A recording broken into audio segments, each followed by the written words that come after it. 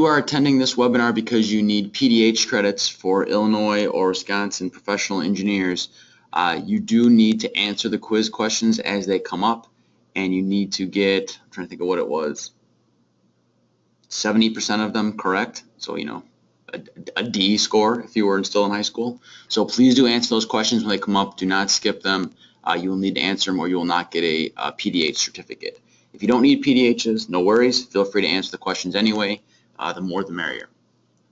All right, welcome. I'm Ryan Holger with Temperature Equipment Corporation, and this is kind of part two of the duct sealing and testing webinars. Last week we did residential. This week we are doing commercial.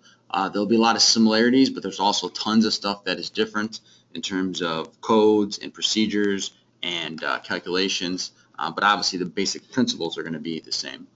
Um, ask me any questions as we go, type them in the question box, and every once in a while I'll take a look over there to see if anything has come up that we can try to answer on the fly. Why is it not clicking? All right, so some of you guys have seen me use these slides before. I use them all the time to scare the hell out of you that we waste a lot of energy. And depending on whose data you look at, buildings, both residential and commercial combined, use about one third of the total energy of the United States. Manufacturing is another third, and transportation is another third, basically. When you look at how that breaks down within the building sector over in the little pie on the right-hand side, you can see about a third of that is HVAC, heating, cooling, ventilation, I suppose you could lump water heating and refrigeration in there and say that we affect about half of that world in our industry. Specifically, when we look at commercial, about a quarter of the commercial building energy usage is for space heating, uh, and then another good quarter of it is cooling, ventilation, water heating, refrigeration, if you will. Um, a quarter doesn't sound like a lot, or even half doesn't sound like that much. But when you start looking at the other pie wedges, they're getting smaller and smaller over time, electronics, computers, lighting, etc. And those big ones over there, adjustments and other, that's stuff that's generally a mystery to a lot of people. I'm not sure exactly why that can't be quantified a little better, but heating and cooling are definitely still huge targets that we can mess with. Specifically, looking a little deeper in there, on the left-hand side is how much energy as a country we use to cool stuff. On the right-hand side is how much we use to heat stuff. And it's pretty close, 1.4 quads and 1.7 quads. And this data is about 15 years old, but percentage-wise, it's still a similar scenario. Uh, you can see half of that cooling energy is packaged rooftop units. Uh, and on the heating side of the equation, a little more than a quarter of it is, is you know, packaged ducted units. Uh, so there's a lot of duct work going on that we can deal with. And then we have this parasitic energy, the energy that we use to transport the other energy around, right? So we spent some energy and money to make cooling, we spent energy and money to make heating, and then now we got to spend more energy and money to move the heating and cooling all around. And you can see the big pigs there are the supply fans and the exhaust fans. Um, most of the codes, as you probably have noticed lately, have been picking on the fans, and that will continue to happen. We have rules for VFDs for certain horsepower fans now. We have rules for multiple stage fans on rooftop units in the codes, and we have horsepower limitations on big air handlers, and all that stuff's just getting more and more strict because fan systems are pretty big consumers of energy for our country. As you're probably aware, the United States and Canada are probably the main places you can go in the world that ducted systems dominate. When you go to other places, Europe, Asia, etc., you'll see a lot of water-based systems and refrigerant-based distribution systems. But here in the U.S., we got a lot of duct work, and unfortunately, that duct work leaks quite a bit. When you look at some of that power consumption, specifically for the fans and motors, um, for this particular study here, 37% of that peak power that we're using is fan and motor related. Um, so if we can do anything at all to chop that down, and most of you guys are familiar with the fan curves, fan laws, uh, so if we can do just a little bit to chop that down, it'll have a huge effect on power consumption. So duct sealing specifically, uh, here's some data here um, from ASHRAE, which I'm sure everybody's familiar with. If not, please join ASHRAE. We love you. Um, First thing, uh, system leakage significantly increases building energy leakage. Um, a lot of duct work is outside the typical conditioned space, and even when it's not, sometimes it's in these quasi-conditioned spaces where you're not really sure it's part of the conditioned envelope or not. Um, so any of that kind of stuff that leaks out of the ductwork um, is going to leak out of the building. Uh, VAV systems, which are very popular in commercial building environment, um, if you got a VAV system that's leaking 20, 30, 35% of its of its uh, uh, air, that equates to a substantial uh, portion of the dollar amount that's involved here. Um, so VAV systems in general uh, use 20 to 35% more if the ductwork is leaky than if it's a tight system. And we'll kind of define a little bit here what tight means and leaky. Because right now, right now those are kind of, you know, not defined words. I could say something's tight or leaky and you're like, okay, sure. We'll define it, we'll quantify it mathematically so you can see what tight and leaky is. But a leaky system is going to waste about a third more energy than a tight system. Uh, exhaust fan systems, same kind of story. Um, a lot of exhaust system and exhaust shaft sealing has been going on lately because this is a huge consumer. A lot of exhaust systems run 24-7 as opposed to other systems that may cycle more. Uh, so anything we can do to fix stuff there may have a larger dollar impact for us. But if I have 20% duct leakage on my exhaust ductwork or my exhaust shaft, uh, that can cause me to have fan power increase about 95% more. That's a lot of dollars and a lot of money. It's going to be a lot of energy and a lot of money. Um, some of the rules for duct leakage is changing. Um, we'll talk a little bit about what's going on with the energy codes, um, but you are going to see some more standards come out from ASHRAE that involve duct leakage specifically. Uh, that's a little bit down down the road here. Um, so like commercial duct work, which is a lot of us are affected by, right? I know some of you guys do hospital work and some of you guys do residential and stuff like that, but we're sticking with commercial for today's topic. And like commercial duct systems, so offices, schools, things like that, that is by far more than 50% of the market. So that's it's a big target. Um, that duct leakage in those type of systems based on two different studies is about 30%. So assuming that what happens in Florida and California also happens in Illinois, and I know that's a huge assumption, right? But let's just say it is. That means 30% of the air you pay to heat and cool and move down a duct system does not make it to the space at any point in time. It leaks out of the ductwork and goes back into the plenum return, or it leaks out the ductwork and goes out of the building entirely, which is even worse. So 30% of the air on average commercial duct system is leaking. Uh, it's a pretty big amount. For you guys last week on the residential side when we did that webinar, you know that's a pretty similar number. It's pretty, it's pretty common for both scenarios. Um, commercially, we have duct leakage classes, uh, and these are dictated to us by SMACNA. So we'll talk a little bit in a couple slides here about some of the SMACNA standard language. Um, but there are different classes, and I'll show you what those classes look like. Um, but a leakage class of, of, uh, of 200 is a very common uh, class that you'll see. So if we look at that specifically, take an example of 10,000 CFM, which is a pretty large air handler, moving air at 1.5 inches of static pressure, which is fairly common for light commercial system. Um, that co correlates to about 3,000 CFM of leakage on a Class 200 system. Class 200 is what most duct systems are built to. So on a 10,000 CFM system, you can expect to get about 3,000 CFM leakage, which is 30% like we said. If you can get it down to a, uh, a rating of 4, um, which we'll talk about how to do that and what that really means mathematically, that's only 62 CFM of leakage instead of 3,000. So it's a huge difference if we can go down a couple classes on how we seal our ductwork. Uh, there's the full link if you want to see how that SMACNA standard works. We'll talk about it a little bit more in a couple slides. On average, 10 to 20% of the air provided by a supply fan never reaches an occupied space. Right, I said 30% of the air leaks, right? But some of that leaks out of the ductwork and wafts its way down through the ceiling tiles and everything into the conditioned environment. But 10 to 20% of it never makes it into the conditioned space at all. It just goes away, right? So it goes into the plenum return and then it leaks out the sidewall of the building or it leaks out of the ductwork into an attic of the building and then out the attic out the building.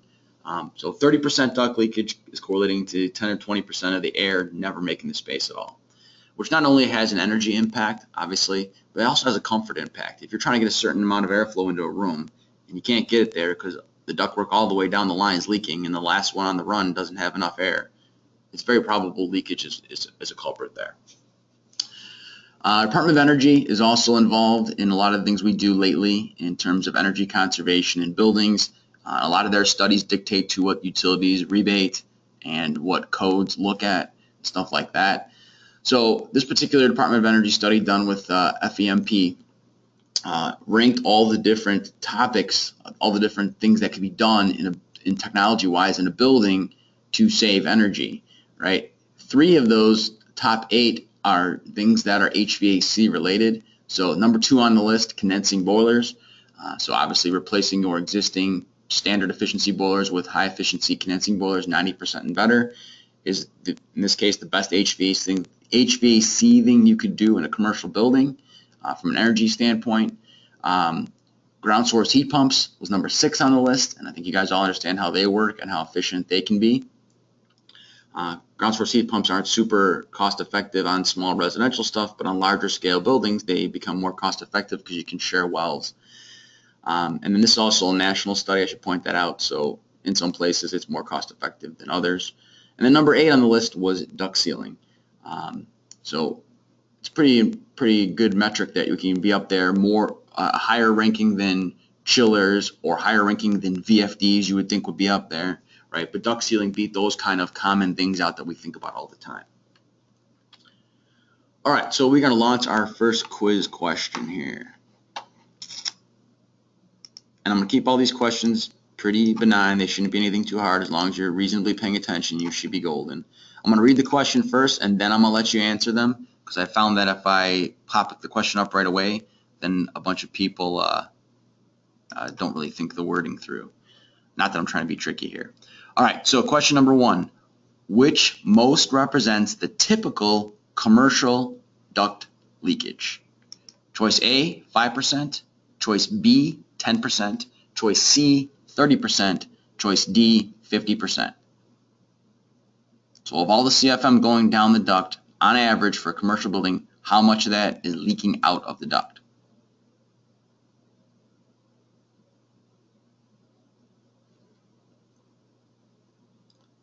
While you guys are answering that, I'm going to look and see if anybody typed any questions in so far. Looks like nobody has, but then again, we haven't gotten into the real meat of anything yet. All right, 84% of you voted, so I'm going to close this poll in five seconds. Five, four, three, two, one. All right, closing it. And I'll share the results with you. Uh, you guys did very well. 91% of you got the correct answer, which is 30% of the duct work in a commercial building leaks on average.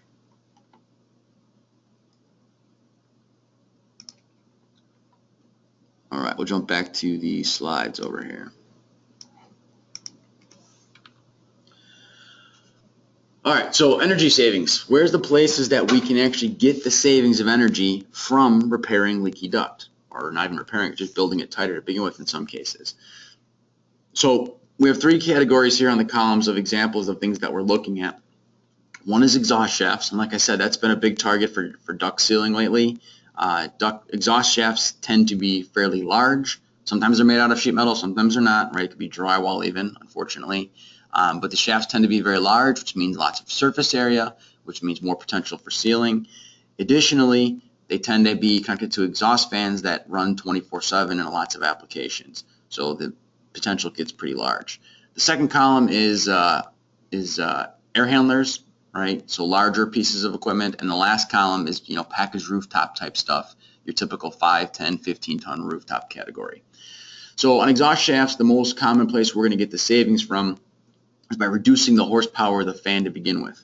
Right, this is assuming your exhaust system got balanced at some point, which hopefully it, it did and does, right? So if I go and I test your, your exhaust system and I'm not getting the airflow requirements that I need to meet the original spec and CFM for each um, grill, I'm going to go speed the exhaust fan up, right, to get that airflow that I need as an air balancer. I'm either going to speed up the VFD or I'm going to change the sheaves on a fixed speed device. I'm going to speed it up to get the airflow I need, right? Instead of doing that, which is obviously going to cost more energy over time, the better solution would be to seal the ductwork so I don't need to put a bigger fan in or I don't need to speed my existing fan up. So the, horsepower savings on the fan is huge on these systems. Additionally, if I am exhausting, you know, um, my, if my exhaust shaft is leaking, I'm pulling air in from other cracks and crevices. That's just adding additional load onto the system. Uh, on the larger air handler side, obviously I'm going to reduce the fan horsepower as well. I'm also going to reduce the heating load. Um, anytime I'm leaking air out of the system, some portion of that, like I said, is never going to the conditioned space. It's going out into other areas, wall crevices, cavities, and then working its way out of the building. So that air has to be made up by other air, which has to be heated and cooled at some point in the system.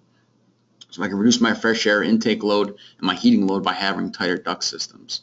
Uh, and then a similar kind of scenario for, for uh, package uh, type equipment as well. Some visuals on some of that stuff. Uh, package rooftop systems.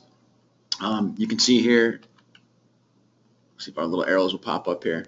Right, so this is my package rooftop unit here with the green, awesome looking fan. Uh, my ductwork's going from left, from right to left. Let me see if I can get a little highlighter thing to go here. Right, so air's coming in, my outside air's coming in here, my return air's coming up, going through the fan, being heated and cooled, and going down through the duct system, and hopefully going out the registers where it's supposed to go. However, some of that airflow is in fact leaking. Oops. All right, so that airflow is leaking. Once it leaks into that ceiling cavity, then it's, you know, it can go anywhere from there. Some of it will leak into the space. That is actually possible. But a lot of that is going to leak out the sides of the building or out the roof deck specifically, depending on how tight the roof is and how well it is sealed. And typically, it's not sealed very well. Um, constant volume systems, um, low pressure leakage short circuits the duct system. So if I leak air out of the ductwork into that plenum cavity, some of that is going to be pulled right back in through the leakage on my return duct. Or I could actually have a plenum return, which which case then that's not return leakage, it's just the return duct. Um, you know, my supply duct is inside my return duct if I have a plenum return. So on these systems like that, I could be short cycling. I'm paying to heat and cool air and move it through the system, and it's going right back into the return, and it's bypassing the conditioned space. It's never making it into the space at all, which means I have to run the unit longer in order to get some more of that air to come into the space and to reach the thermostat until tell it to cycle off. So it takes longer for me to heat and cool the space, and it uses more fan energy because I'm moving more air through the system because some of it's bypassing and never actually going into my actual space.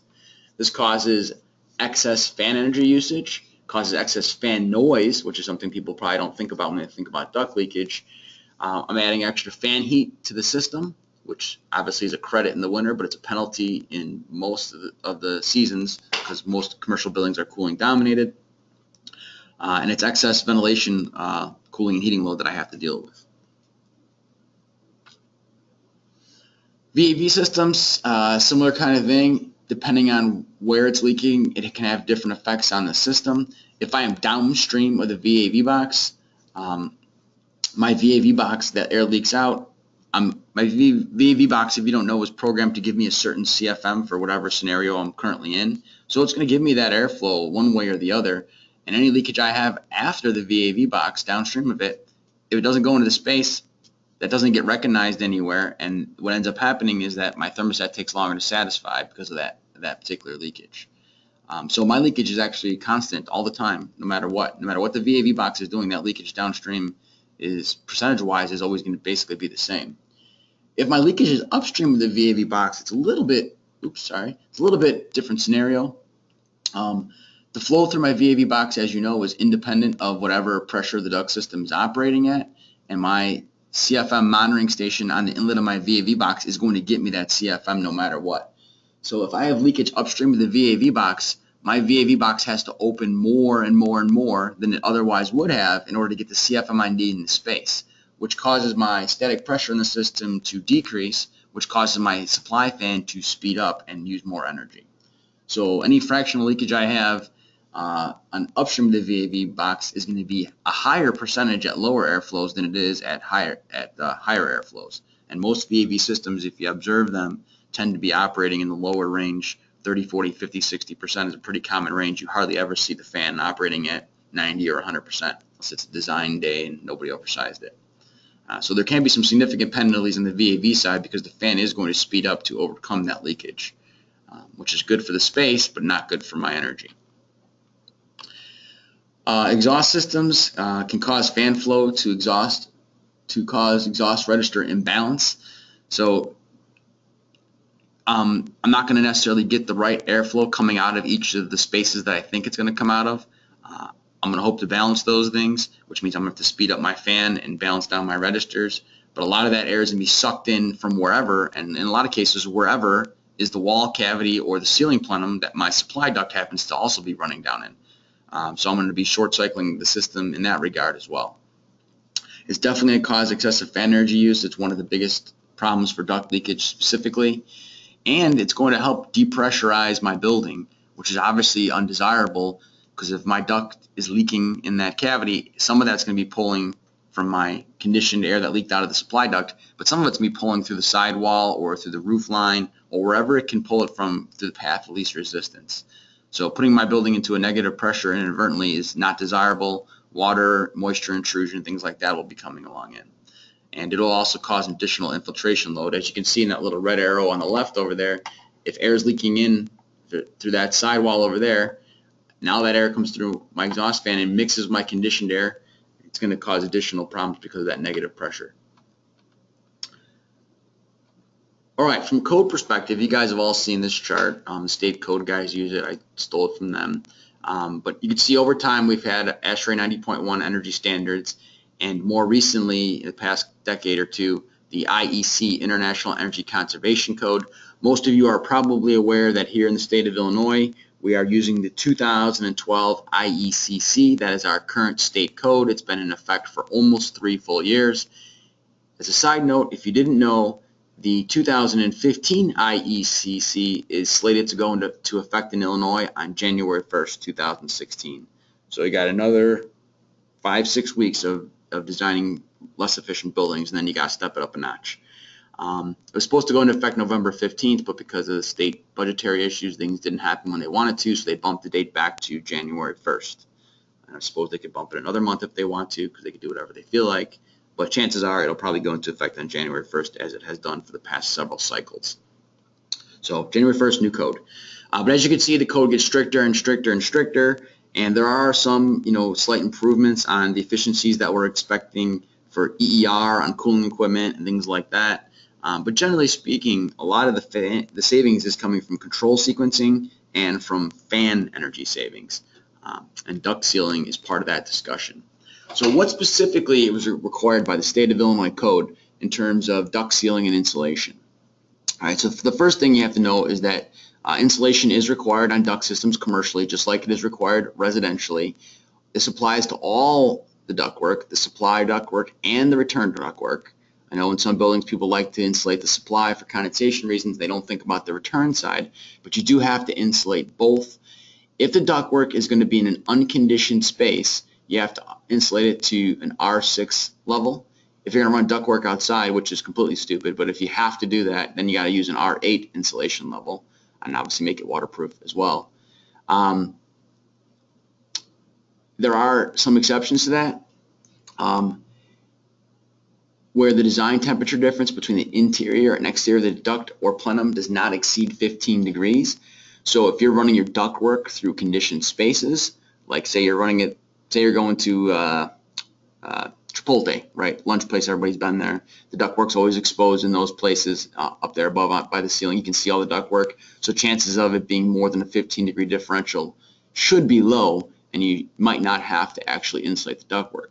Now with that being said, as you're probably aware from my other classes, lots of systems use very hot supply heating air, much hotter than 15 degrees, even though ASHRAE specifically prohibits you from doing that both in the handbook and in ASHRAE 62 ventilation standards. Um, so you should not have it be more than 15 degrees. So in a 75 degree room, the ductwork should never be supplying more than 90 degrees from overhead heating. But if it does, theoretically you have to insulate that ductwork, right? Um, if you look there below the exceptions, all ducts, air handlers, and filter boxes shall be sealed. And all joints and seams shall comply with section 603 of the IMC, which we'll look at here in a second. Um, so we have to insulate the ductwork if it's going to be in an unconditioned space or a what I'm going to call a semi-conditioned space. If you get it all the way fully in the conditioned space with no more than a 15 degree delta T, then you don't have to actually insulate it you definitely have to seal the ductwork and the air handlers and the filter boxes. All got to be sealed. If you look at the International Mechanical Code, which is going to dictate to us a little bit more on how things need to be sealed, um, there is some language in there. I'm not going to read the whole thing to you because that would be boring.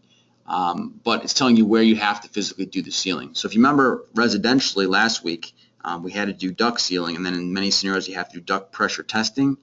Te- the pressure testing kind of makes the whole argument of what you have to seal go away. If they give you a target and you got to seal to a certain number, who cares where you sealed it at basically, right? You have to seal pretty much everything to get to the certain number. Commercially, we're not yet requiring duct sealing, at least not in most scenarios. We'll talk about that in a couple minutes. We're not requiring duct sealing testing, but we are requiring duct sealing. So right now it's still a visual inspected inspection for most commercial buildings, and we haven't switched to a performance spec like the residential side of the code has. Um, so when your inspector comes in, he's going to be expecting to see that you've sealed the longitudinal and traverse joints, and I'll show you diagrammatically which ones those are. You're also going to have requests from your building inspector for UL listed products. Um, they're not going to want to see that, you know, thin, you know, uh, foil looking tape. Uh, they're going to want to see it stamped with a UL 181 stamp on it. Um, you also, as you can see here, you're allowed to use welding, which is very expensive, uh, gasketing, mastics, which we'll talk about specifically here in a few minutes, um, sealant liquids, uh, or tape and the tape's got to be UL listed as well. Um, the UL uh, 181 standard helps with the, the uh, pressure sensitivity of the tape and heat sensitivity of the tape. If you just put the quote-unquote cheap tape on there, chances are it's going to deform and peel off in a matter of a couple years. That's why they want to see the UL listed tape. Uh, if you look down here, there is an exception to this section. Um, continuously welded, obviously you don't have to seal it with mastic and tape if you're going to weld it. Um, or if you have a locking system type joints um, and you're operating at a lower static pressure than two inches, uh, you do not have to have additional sealing on those mechanisms. So we have different classes of ductwork in terms of duct sealing, uh, low, medium, and high. Uh, this is the language here for low pressure. I'll show you medium and high in a second. Um, so specifically here, um, we're looking at longitudinal and traverse joints, seams, and connections of your supply and your return ducts operating at less than two inches of water column. That's most of your commercial systems. That's your typical rooftop category, you know, under 20 tons type equipment that you're going to see on 60% of the projects.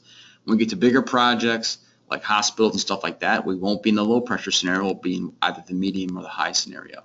So these two inches of water column less systems that we're talking about here on, on the low pressure, and there you can use welding, gasketing, mastics, um, mastic fabric systems, tapes, etc., etc. Um, if you bump up level to the medium pressure systems, um, this is for systems that are between two and three inches of duct static pressure. Um, and then high pressure systems are ones that are operated at more than three inches. And you can see when we go to that high pressure scenario, that's when additional rules start kicking in. So if you can design your system to stay under three and even better under two inches of static pressure, then you're going to be in a much better situation in terms of what you have to do by code. Um, so if you are exceeding three inches duct static pressure commercially, that's where the rules kick in and then you need to do duct leakage testing. So residentially, anytime the duct work went outside the space we said last week, as soon as it went outside the conditioned space, you had to do it.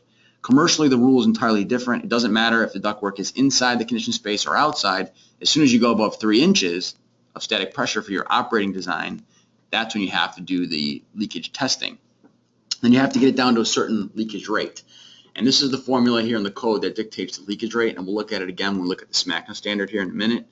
Um, but the uh, leakage class that you're trying to get down to um, is F, which is the leakage rate that you're measuring in CFM for every 100 square feet of duct surface, divided by whatever static pressure you did the test at to the 0.65 power. I don't know why someone had to make the formula so complicated, but that's what they chose to do. Um, so we'll talk about how that formula works a little bit more here in a second. Um, you don't necessarily have to test all the ductwork. You have to test at least 25% of the duct surface area um, and submit that. Now, obviously, if all that ductwork fails or some good portion of it fails, you're going to see requests from your permitting guy or from your design engineer on the project asking for you to test more portions of the system, obviously. But if you can get 25% to pass, you should be in good shape. If you are a specifying engineer, what I would recommend is that you don't tell people which 25% you want tested until after all the ductwork is done and hung. Then, then pick the pieces that you want tested, uh, and that will ensure that whoever's hanging the ductwork and sealing it is doing a good job on all of it, not just the part they know you're going to look at. Uh, a couple of questions came in. I'm going to see if I can read them real quick here. Uh, Ryan asks, uh, ICC requires minimum set point uh, 75 degrees and cooling the supplier is 58 degrees at most, resulting in a 17 degree difference. Um, he's saying that that Chipotle restaurant should be insulating their ducts. Um, requires a minimum set point. minimum set point is 75. Okay, that's what you're saying. Okay, yeah, I would say you're right in that regard, Ryan. I don't know that anybody's going to police that, but I would agree with you. Uh, Chris asks, how do you propose sealing an open return plenum above a drop ceiling? Uh, in my experience, there's considerable leakage to the exterior at the roof wall connection. All right, Chris, so in that example, you're using the ceiling cavity as your return ducting system. You don't have actual sheet metal. So there, the sealing process is going to be much more similar to doing building leakage sealing, because that's really what you're going to be doing. Um, so you want to seal the building envelope itself. Um, hopefully people are doing that anyway, but obviously it doesn't get done very well. That's going to be the procedures you're going to use there. Generally speaking, that's going to mean that there's going to be people walking around with, you know, cans of expanding foam and caulk trying to seal up any penetration that was made to the exterior. So if somebody cut a hole in the exterior because they wanted to run a cable TV wire into the building or something like that, that hole has to be sealed up. Um, the leakage you have between the ceiling grid and the space, in the case of a dropped acoustical ceiling, you're probably not going to be able to seal that. Um, that's that leakage going up from your space through there is should be under negative pressure because of the return duct, so it won't really be leakage. It'll be more air leaking, more air moving up through the return system. So you're more concerned about the side walls and then the roof leakage, uh, and that has to be treated more like a building than ductwork, but it would have to be sealed. Uh, Jeff asks, energy code says ductwork doesn't need to be insulated if it's in a conditioned space. So that Chipotle example is good, right? Well, Jeff, that's what we were just debating when, with Ryan's question. We'll go back real quick. I didn't realize Chipotle was that exciting. So insulation, um, all supply and return ducts and plenum shall be insulated with a minimum of R6 insulation where located in unconditioned spaces and R8 if outside, right? So conditioned spaces, what's that, right? Um, we're located within a building envelope assembly. The duct or plenum shall be separate, separated from the building exterior or unconditioned or exempt from the R8 insulation standards. So let's see, the Chipotle example that I randomly picked out of my head that's now coming to bite me back on all the questions here. Uh, so that would be a conditioned space um, located with Yes. Okay. So I take it back, Ryan. Jeff is correct. Um, because that ductwork running in the ceiling of that restaurant example is conditioned space, it does not have to be insulated. Um, the exception number two, where design temperature difference between interior and exterior of the duct does not exceed 15, that would be not exceeding 15 from conditioned space, from ductwork to unconditioned space, or from ductwork to outdoors. So if you did the job in San Diego, maybe you don't have to insulate your outdoor ductwork if you did the job somewhere and we're running the ductwork through an unconditioned mechanical closet or something, and it's only 15 degree delta, then you wouldn't have to do it there.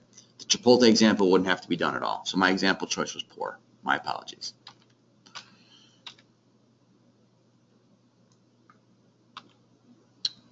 All right, so back to that uh, duct example there. So when we look at the ASHRAE sealing classes, and we'll look at ASHRAE and SMACNA separately, they're two slightly different classes, but they're very similar in terms of their goals are. Uh, the ASHRAE duct sealing classes come out of standard 90.1, which is the energy efficiency standard, as you're probably well aware. Uh, we have a column for return duct, a column for exhaust duct, and two columns for supply duct, depending on whether it's above or below two inches. And then each one of these categories gets an A, B, C, or D on it. Uh, C means that we have to seal the traverse joints only, right? So that's the cross-sectional direction of the duct, not the long direction, right? So that would apply if I have um, ductwork in conditioned spaces on the supply side, less than two inches. I got to seal the traverse joints.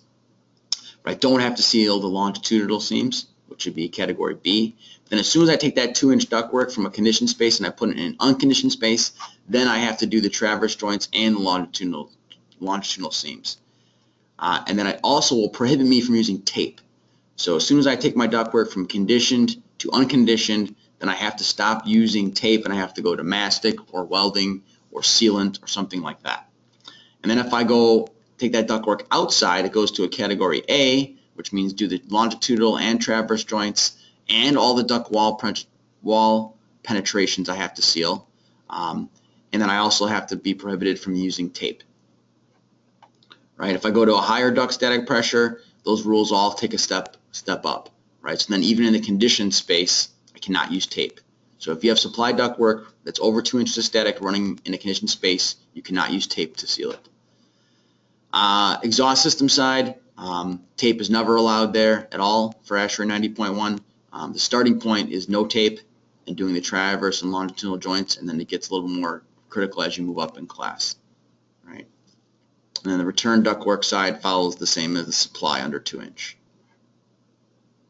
So you sometimes have to do insulation on the ductwork if it's an unconditioned space. Sealing you have to do whether it's conditioned or unconditioned, and then the level you have to seal it to uh, depends on what you got going on. If you look at the SMACNA categories, uh, it's a very similar scenario um, that we had there for ASHRAE, but it's a little bit different. Um, there's an A, B, and C class where once again A is the most stringent and C is the least. And C means I have to do the traverse joints only, just like it does for ASHRAE. However, in, in the SMACNA standard, instead of categorizing it by supply, return, and exhaust, and then supply pressure, it's just by pressure in the SMACNA standard. So if you're trying to follow the SMACNA standard, it's just by uh, pressure. And basically, if it's a two-inch system and under, you're in Class C. You have to do the traverse joints and seal it to a certain rate, which we'll talk about here in a second. If you're at three-inch ductwork category, you got to do traverse joints and the seams, longitudinal seams. So then you're in Category B. And if you're at four inches above, you got to do the joints, the longitudinal seams, and the wall penetrations. Um, so that's kind of similar to the ASHRAE one over here, but just slightly different on when the rules kick in. Um, what's really different about SMACNA and the reason the code language down here, the CL equals F divided by P to the 0.65 power, uh, that language comes out of the SMACNA standard, right? And the reason that's there in that case, because in those categories for IECC, you have to do the duct leakage testing. So not only have to seal it, you have to prove what you actually did. And as we said, for code purposes, you have to test at least 25% of it. The maximum amount of leakage you're allowed for each of these classes, class C, B, or A, depends on whether you have rectangular or round duct, right? And why would that matter? Round duct, as you might imagine, is less leaky, less leaky than rectangular duct because I typically only have one longitudinal seam instead of four, and typically I'm doing it in larger sections. Right? I'm probably going to be buying 10-foot sections of spiral or round pipe, um, whereas rectangular I'm probably going to be working with much smaller sections, three, four, five feet or something like that. So the smaller the sections, the more connection points, and hence the more, more potential leakage. But depending on whether you're A, B, or C, and whether you're round or rectangular, will determine the leakage maximum that you're allowed. So here's the way this formula works. The leakage maximum is expressed in CFM at whatever test pressure you've chosen. SA in this formula is the surface area. So how much duct surface area do you have in 100 square feet? right? So if it's rectangular duct, then it's the left side plus the right side plus the top plus the bottom of whatever section of ductwork I'm going to be testing. Um, and it's only 100 foot increment, 100 square foot increments. P is whatever pressure I've chosen to do this testing at, and that's measured in inches of water column, um, and that P is multiplied to the 0.65 power for whatever reason they developed the formula that way. Um, and then what leakage class am I at? Um, so, for example, we'll bust out the calculator here. I'm just going to make up numbers because I'm lazy. Uh, and let's just say I have a 2-inch or under duct system. I got to get rid of this weird red dot or I can't use the calculator. Uh, hopefully you guys can see the calculator there. Um, so let's say I got a uh, 2-inch or under operating system, and let's say it's rectangular ductwork, so I'm looking at that 24 number is my CL number. Let's say I'm going to test it at 1 inch of pressure because that makes the math really easy for me. So 1 to the 0.65 power is still 1. And then surface area, let's just make that easy and say I have a 1,000 square feet of surface area for this piece of duct I'm going to test. So 1,000 times 1 times my CL of 24. I guess I didn't really need a calculator. That's going to be uh, oh, divided by the 100. So 240 CFM is what I'm going to have as my maximum leakage for that piece of ductwork that I'm testing All right, if I did round pipe, it would have been actually uh, half, 120, because I would have had 12 instead of 24 in the formula there. So hopefully that makes sense to people. Um, I, what you're basically seeing is that the higher the static pressure you operate at, the much, the much less the leakage rate is going to be allowed to, to be operated at. Um, and that's because obviously the higher the static pressure, the more CFM is going to leak out of a given size hole.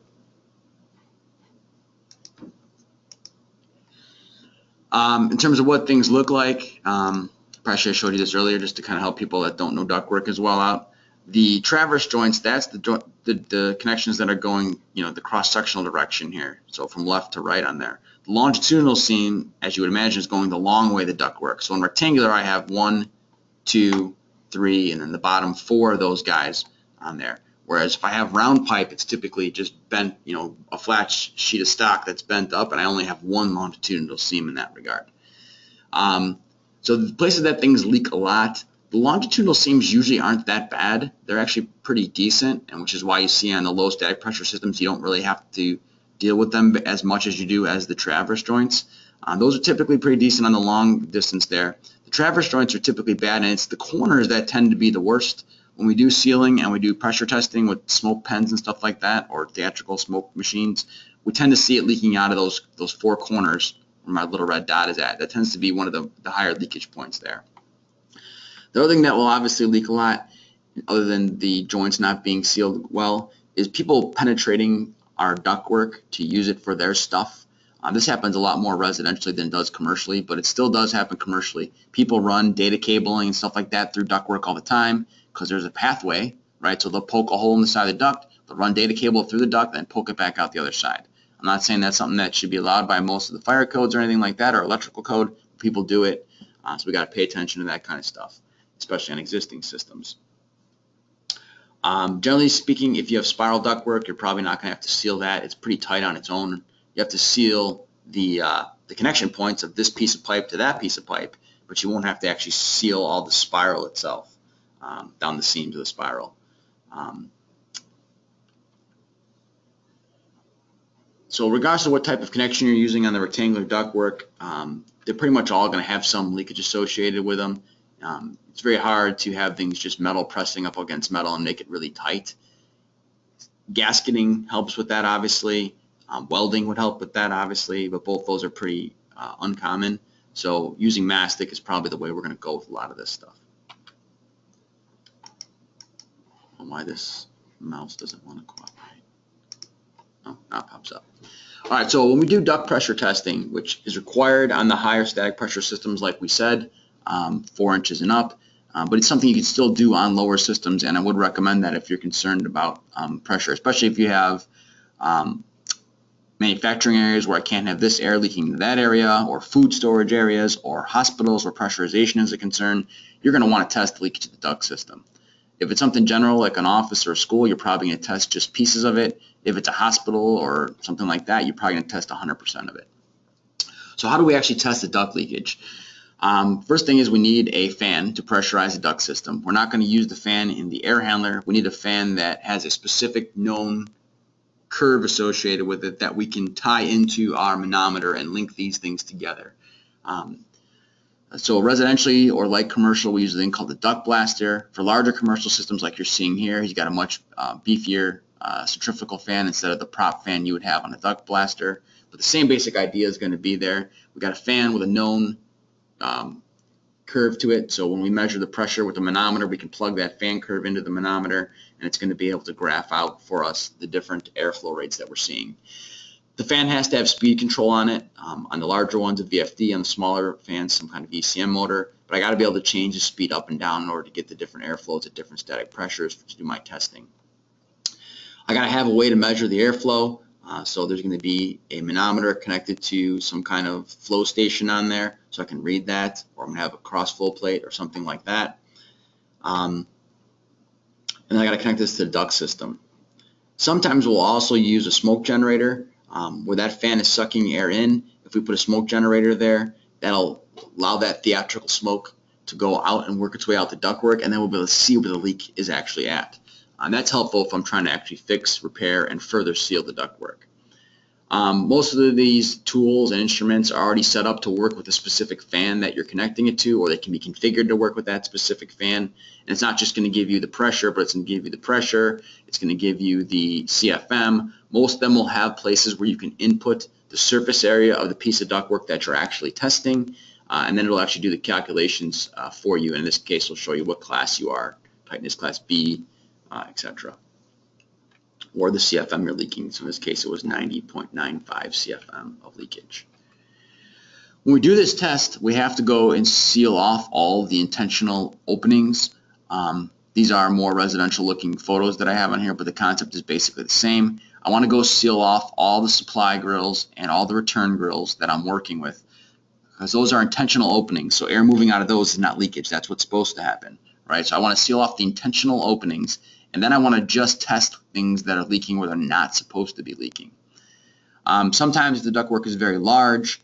Um, we'll have to break the ductwork into sections. So maybe we'll say, okay, we're going to test this, whatever, this 70 feet of ductwork, right? So we'll open up the ductwork, you know, remove the connections on the left side, remove it on the right side, and cap the, those off, and then pressurize that 70 foot piece.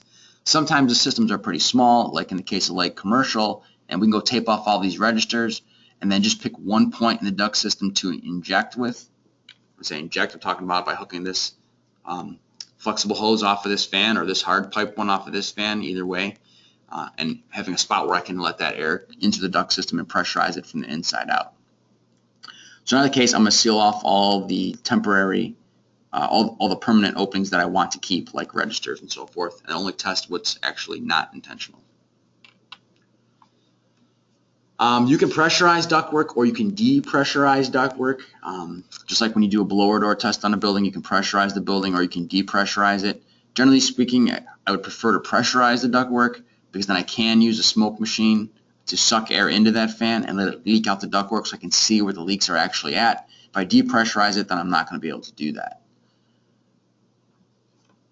Uh, you do want to be cognizant of all the ductwork, uh, specifically supply and return ductwork. And then if you have outdoor air intakes, you're also going to test those for leakage. Um, if those are leaking, it can actually be more energy inefficient for your system than other spots on your system. Right? So if I have outside air intake ductwork going from my louver to my air handler, and I'm leaking air in there, and I got my airflow monitoring station over by my, my uh, air handler, I think I'm getting a certain CFM of outside air, but really I'm getting 80% of that from outside, and 20% is coming through the building leaking into the return duct itself. So return supply, return, and outside ductwork is all important for testing. All right, let's launch another quiz question here so we can get through all these questions when I find where I put my quiz question. Um, where's my question Okay, that's weird. I know you guys are all excited because the question box fell asleep. Okay, here we go. All right, so question number two. Duct sealing is required by which current codes in Illinois? Keyword current. Duct sealing is required by which current codes?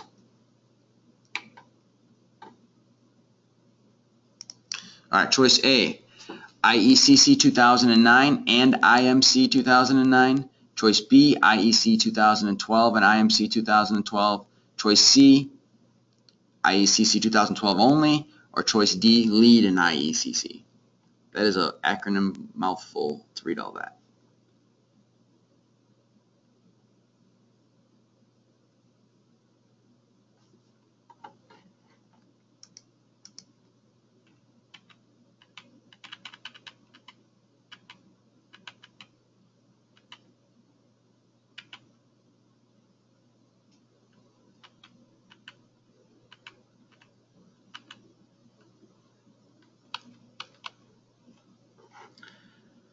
All right, I'm going to close the poll in five, four, three, two, one.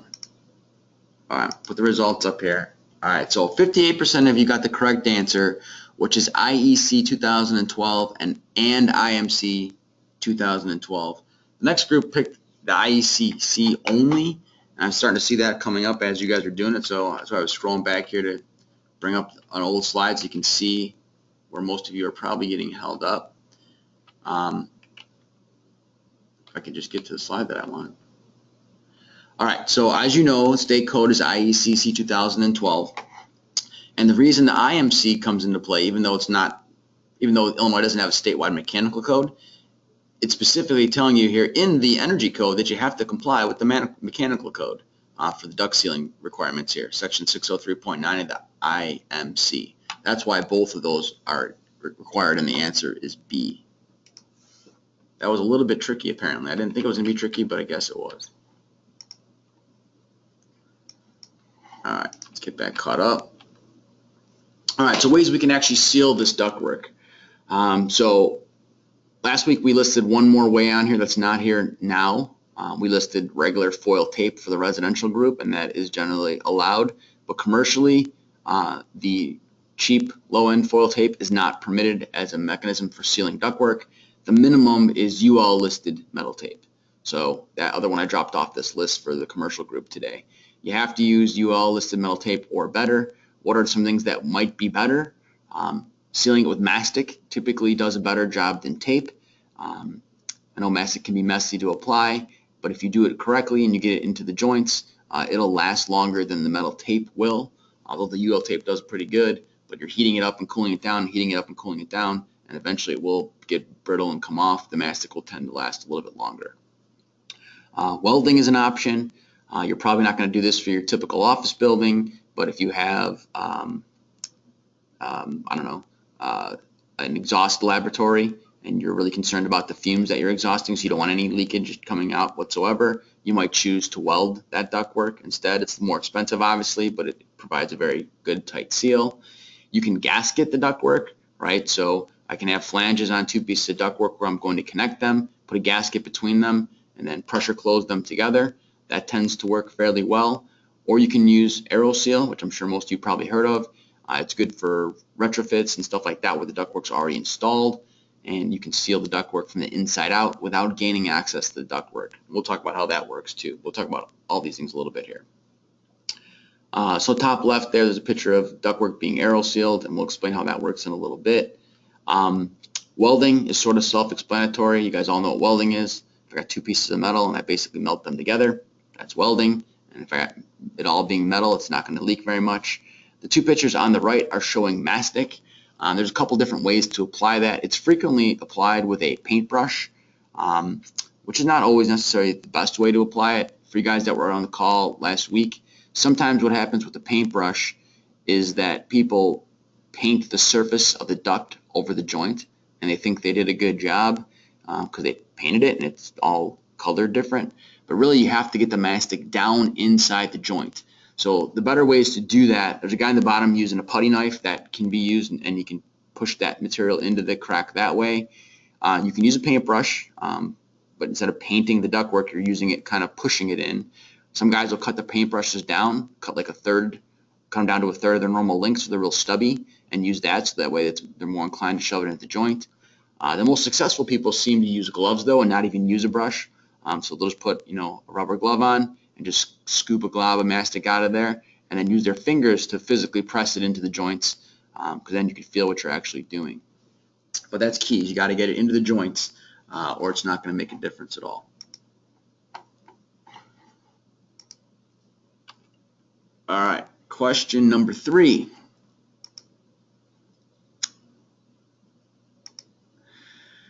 Question number three is what pressure is commercial duct tightness testing done at? What pressure is commercial duct tightness testing done at? 25 pascals, 0.1 inches of water column, any pressure measured in pascals, any pressure measured in water column.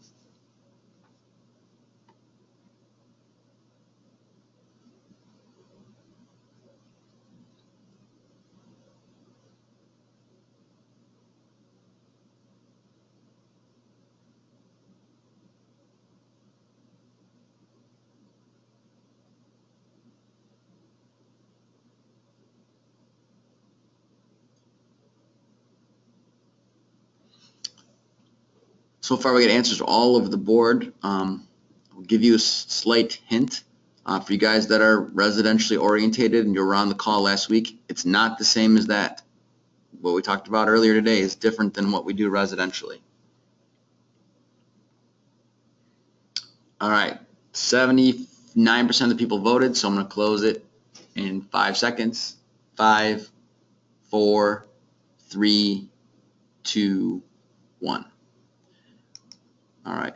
Well, most the, the, the most people got the correct answer here. Um, however, I, mean, I say most people, the, the more people got it right than, than other answers, but the correct answer is D. Any pressure measured measured in inches of water gauge. Um, the guys that were answering the 25 Pascal, which was 32% of you, that was the answer last week for residential. That was not the answer this week commercially. Uh, commercially, we test at all different pressures. We're not locked into one specific testing point. Uh, we, we, use any pressure that we want to test at. Um, but then for all those formulas, it gets entered into the formulas in terms of inches of water gauge, inches of water column. So D is the correct answer on that one.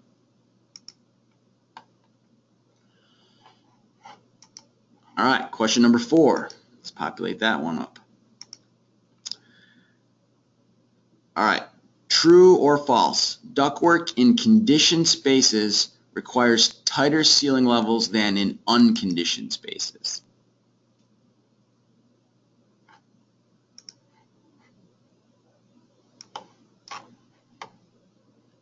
ductwork in conditioned spaces requires higher, excuse me, requires tighter sealing levels than unconditioned spaces. True or false?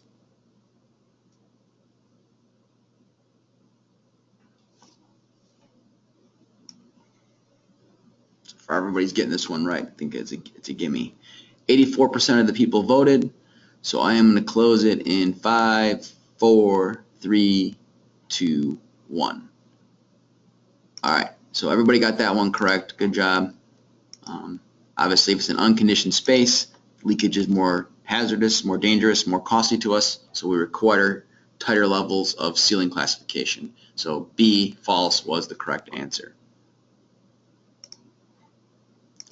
Right, a little bit more here, and then we'll have one more question at the end. Um, describe what the AeroSeal process is for you guys that don't know. Some of you guys saw it last week, but similar kind of thing. So basically what AeroSeal is, is another way to seal ductwork. Uh, this is for ductwork that's already installed, whereas like welding you would do as you're doing it. Um, AeroSeal you do once all the ductwork's installed or even as a retrofit to existing ductwork. Uh, so the way it basically works is you need to go plug up all the intentional openings. So all of the supply or return registers have to be physically blocked off because I don't want to seal those closed. Obviously, I only want to seal leaks closed. And then what you do is you cut into and connect to the duct system with this calibrated pressurized fan and an ejection assembly. Injection assembly is, we call it a wand, but basically is just taking a glue sealant type product and misting it into an aerosol based sealant. And that sealant then goes down this bag, which looks like this bag right here on the right, goes down that bag into the ductwork system and moves its way through your entire duct system. So you're sealing off all the intentional openings, pressurizing the duct system with this fan, and then injecting um, aerosol-based sealant into the air. So what happens then is it moves down the duct system, and if there's a leak, obviously there's higher pressure in the duct and lower pressure outside the duct, so air is going to leak from inside to outside the duct, and when it does that, this aerosol-based glue is going to leak out with it, and it's going to catch the edge of the crack, right? And as we exit the ductwork, we go into a lower pressure scenario, so it doesn't move out quite as much, but we exit the crack, this little glue ball, if you will, adheres to the crack, and the next glue ball adheres to him, and the next one adheres to him, and the next one adheres to him, and you basically scab over the holes with a glue type product. That's kind of the, the crude, simplified version of what this thing actually does. Uh, very similar to what we do on other testing. These pictures are residential just because that's what I happen to have, but it's the same process. You're sealing off all the intentional openings just like you do on a code type test, blocking all those off. Um, you're doing a pre-test to see how much leakage you actually have, right? So exact same kind of test we were talking about before. Uh, this case, you're doing it with a computer so you can graph it all out and everything. But it's the same basic idea. I want to know how much I'm actually leaking out. Then what we do is we take foam blocks and we actually plug them into all the registers so no air can leak out of them at all. So all of the glue is being forced to the cracks and not coming out any intentional openings. We also would block off any mechanical equipment. In this case, it's a residential uh, fan coil, but we'd be blocking off commercial air handlers or rooftops or something like that. So basically we're isolating the ductwork from the equipment and from the space. So we're just sealing ductwork. Um, and then you pressurize the system. You can see down here in these bottom pictures what it actually looks like when it fills up the cracks. So this is sealing a uh, joint. This is sealing a, a corner area, right? Those little white dots are just all little molecules of white glue building up on each other until the crack is fully fully sealed. Well, it's not super complicated. It's fairly fairly easy to conceptualize. Here's a left hand and a right hand before and after picture. There was a crack there where the connection was not made very cleanly and the glue basically fills that up as well as the traverse joint going across the top there too. Uh, and then we'll do a post test, which is the same test you do at the beginning, um, so you can see how much you actually improve the system. So you get a before and after snap snapshot. And then you obviously got to go remove all the temporary things you did to plug the duct system up. Um, so there are some advantages of doing this over over mastic, although mastic does work perfectly fine. Um, if, like I said, you take the mastic and you shove it into the joints and not just paint over the top of the metal. Painting over the top of the metal just makes the metal ugly. Uh, you got to actually shove it into the joints. Uh, the other nice thing about sealing with aerosol-based stuff, and I should mention AeroSeal uh, is a trade name for aerosol-based solutions. Um, Department of Energy invented this technology 20 some years ago, um, and they've licensed it to a company that was formed to specifically marketed called AeroSeal um, but it's, it's, it's the main way that it's getting done.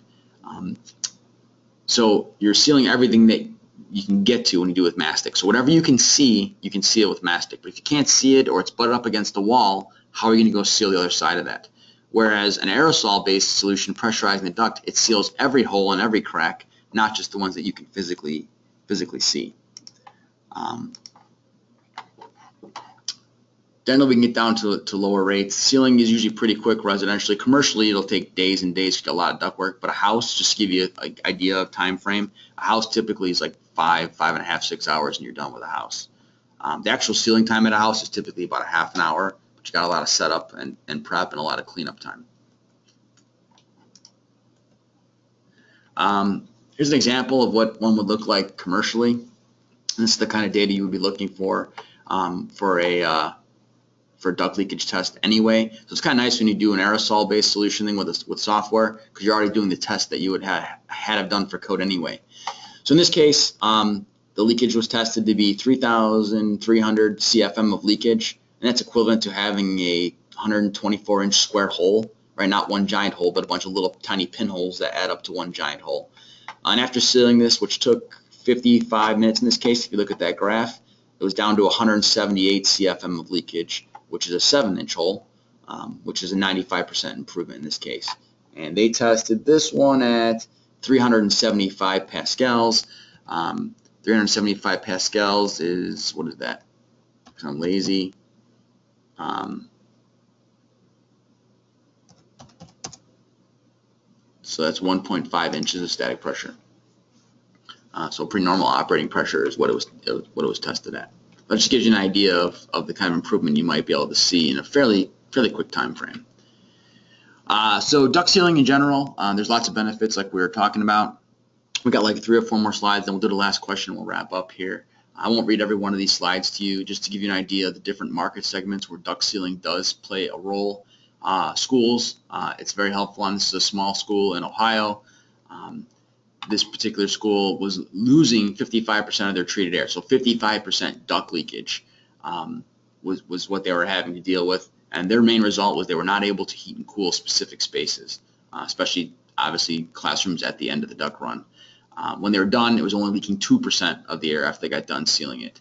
Uh, total duct leakage improvement was 27,000 CFM at this one school, which is $45,000 a year. So they got duct work located in you know a single story school. So a lot of that leakage is actually leaving the building. Uh, so it's a pretty huge improvement in energy, which is helpful for them paying their project back. But the real motivator was getting heating and cooling to the right rooms. Uh, healthcare is very popular with duct sealing for obvious reasons. Um, healthcare and laboratory environments are some of the more popular ones because there you're really concerned about, well, what class of air am I accidentally leaking into a different class of air? right? So if I can make sure I'm not leaking any or hardly any, uh, it's much more beneficial to me, less lawsuits and things like that, less health problems and so on. Um, so this was a healthcare project, uh, but it wasn't a, but it was a lab exhaust hood that had radioactive isotopes. Um, So in this case, they were having trouble getting occupancy to the to the property because they had to ensure a certain uh, leakage rate before they could do so because they don't want radioactive isotopes leaking into other spaces. Uh, they were having difficulty getting that taken care of, so had to do some additional sealing in order to do that. Energy, not a concern, right? First cost, not a concern. They had to get the leakage down. So there's different drivers for different kinds of projects. Um, this one is actually an overseas project. Uh, same kind of problem though, they were not able to get their occupancy permit because the duct leakage rates were not meeting the engineers uh, and the code required original specs. And what they're actually doing on this property is they were actually sending dudes down on harnesses down the shafts, fairly large shafts, and trying to get them to seal the ductwork from the inside there because they had already put all the furnishings, wall finishings and everything on. So sealing from the outside the ductwork was very difficult. So they were sending dudes down on on a, on a pulley um, with a harness on trying to seal the ductwork from the inside. I'm not sure that the OSHA confined spaces rule, you know, applies in this country, uh, but they were having difficulty doing that, so sealing it with other mechanisms, like in this case they use AeroSeal, uh, is helpful. Um, so there's a bunch of them like this on here, um, just popping some of these up on the screen for you. But generally speaking, it ends up being one of two things that tends to drive a duct sealing, well, one of three things. It could be energy code, um, or it could be someone's just concerned about their energy dollars and they want to slow down their exhaust fans and save that money, or which is a lot of the cases, they're really concerned about what is leaking from this airstream into this other space. So that's where the medical and laboratory people get really excited. Um, there's not too many direct incentives from the utilities for duct sealing. You can do duct sealing with all of the Illinois utilities as a custom rebate. Um, for you guys that do commercial work, you know what the custom rebate is. It's not a list of stuff like put this VFD on or change this chiller out and you get this much money. It's do a project, show us all your engineering calcs, we'll calculate how much energy it's going to save, and then based on that, we'll pay you X dollars per therm or X dollars per kilowatt hour saved. So you can do duct sealing like that for Nicor, Peoples, North Shore, and ComEd, uh, and Ameren, and, and, anybody else for that matter. Um, you can't do it that way, um, but there's no list of duct sealing rebates like there was residentially last week when we talked about it. The other thing is that on the uh, Nicor side of the equation, and the ComEd side of the equation, multifamily projects and small business projects can actually do on-bill financing programs for different incentives, which if you're getting a rebate for your duct sealing, then that would become an incentive and you could do uh, that as part of your project as well. Uh, so you could finance the project at a fairly low rate of 5.99% uh, through the utility if you're doing that kind of work. All right, let's get our last question populated up here so you guys don't get mad at me for talking too much uh, questions. All right, here it goes. So true or false, commercial duct sealing is mandatory statewide in Illinois.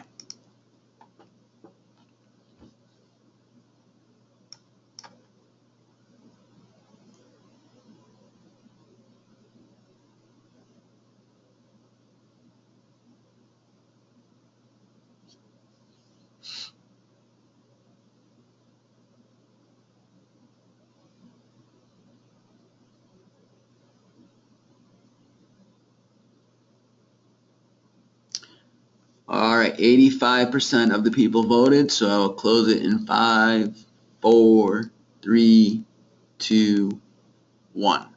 And most of you got that correct. The answer is A, true. Duct sealing is required statewide in Illinois. The levels at to which you have to seal it are different depending on the class of ductwork that you're dealing with, but all the ductwork has to be sealed. Um, all right, so 77% of you got that correct. All right. Last couple things I just mentioned, there's tons and tons of other resources out there. EPA has a bunch of data. There's a couple ASHRAE articles that are fantastic uh, for commercial duct sealing. This one's it's 10 years old now, but it's a great article. If you're an ASHRAE member, you can go online and pull down any uh, previous ASHRAE journal articles. If you're not an ASHRAE member, call me. We'll, we'll figure it out and, and get you access to my magazines or whatever. Um, here's another one that's a little more recent from just uh, two or three years ago um, that concerning uh, energy audits in um, small office buildings, and a big portion of that discussion was uh, was duct sealing. And there's just tons and tons of resources like that. If you need more data and more resources, and you really want to read, uh, let me know, and I'll send you a bunch of stuff. Uh, we got days and days worth of reading material for you. Uh, these are the people I stole stuff from, so thank you for letting me steal your information and your graphics. If anybody has any further questions, uh, type them in or my phone number and email are on the screen there. You can hit me up later. And if I don't know the answer, I will research it and get you an answer. Uh, let's see if anybody typed anything in lately.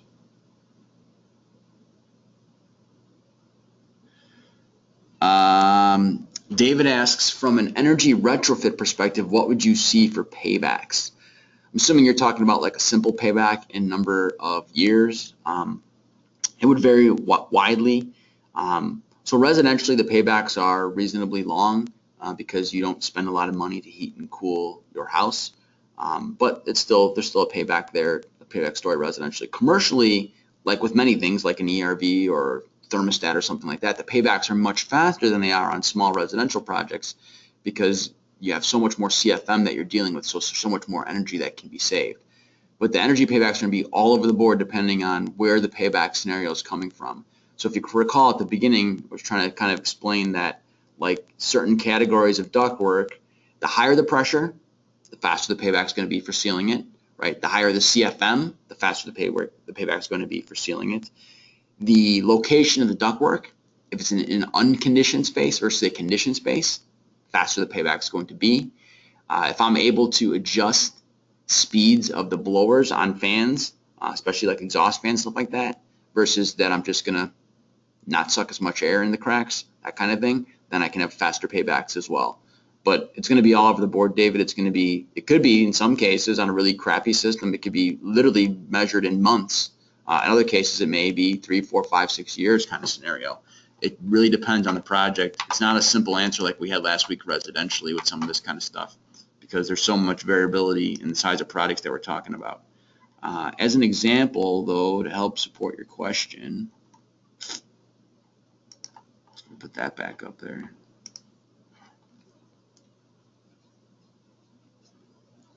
Um, this particular uh, FEMP study did not, you know, do simple payback type scenario.